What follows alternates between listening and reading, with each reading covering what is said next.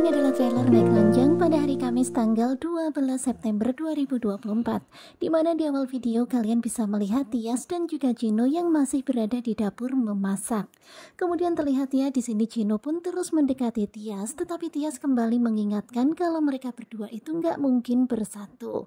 Tetapi sepertinya Cino terus memaksa dan Cino tetap akan memperjuangkan Tias. Tetapi kalian bisa lihat ya Tias itu tidak goyah dengan apa pun yang Cino katakan. Kemudian Kemudian adegan berpindah kepada Dian dan juga Hani. Di sini terlihat Dian yang sedang berada di pusat perbelanjaan. Tiba-tiba datang seseorang memeluk Dian dari belakang. Kemudian terlihat Dian yang sangat kaget dan mengira kalau yang memeluknya itu adalah Tias.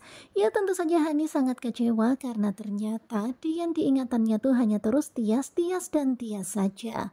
Kemudian terlihat ya Dian pun membalikan badan dan meminta maaf kepada Hani. Tetapi tentu saja Hani sudah terlanjur sangat kecewa.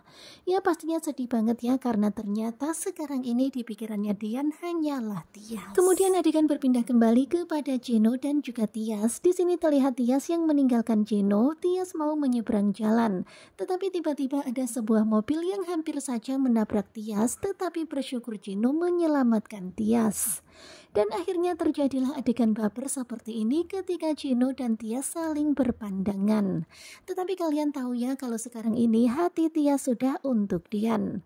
Kemudian terlihat Yalina yang memberikan nasihat kepada Cino supaya menjaga hati Tias dan jangan pernah menyakiti Tias. Dan tentu saja Cino sangat senang ya mendengar sang ibu menasihati dirinya seperti itu. Karena sang ibu memberikan nasihat supaya jangan pernah menyakiti Tias sampai kapan pun. Kemudian adegan berpindah kepada Zidan yang sedang menelpon Hani. Ya pastinya sekarang ini Zidan itu puas banget ya karena pada akhirnya surat itu berhasil jatuh ke tangannya. Dan jika Hani mau harta Farhat itu, maka Hani harus menemuinya. Ya tentu saja Hani pastinya gondok banget ya dengan sikapnya Zidan. Dan hingga akhirnya karena Zidan terus mengancam, akhirnya Hani pun mau untuk menemui Zidan. Ya pastinya di sini Hani tuh sangat kesal. Sementara itu di tempat yang berbeda terlihat Dian yang mendekati Dilan. Kemudian Dian itu memberikan sejumlah uang kepada Dilan supaya Dilan memberitahu di manakah keberadaan dia sekarang ini. Tetapi nampaknya Dilan itu masih ragu untuk mengatakan keberadaan Tias kepada Dian. Ya pastinya takut ya kena marah sama bosnya. Kemudian di waktu yang berbeda terlihat Tias yang bertemu dengan Hani dan terlihat Hani yang memaksa Tias untuk melepas cincin pernikahannya. Tetapi Tias tuh nggak mau, dia tetap berusaha untuk mempertahankan cincin itu.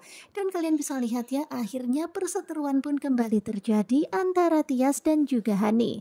Tetapi kalian juga bisa melihat bagaimana Tias yang terus berusaha mempertahankan cincin itu supaya jangan lagi lepas dari tangannya. Nah tentunya kalian pasti makin penasaran kan dengan kelanjutan naik ranjang pada hari ini hari Kamis tanggal 12 September 2024. Nah bagaimanakah kelanjutannya? Sepertinya bakalan semakin seru. Simak kelanjutan naik ranjang bersama dengan Gugu Juba. Terima kasih buat kalian yang sudah selalu setia dan jangan lupa nantikan video selanjutnya. Terima kasih dan bye-bye.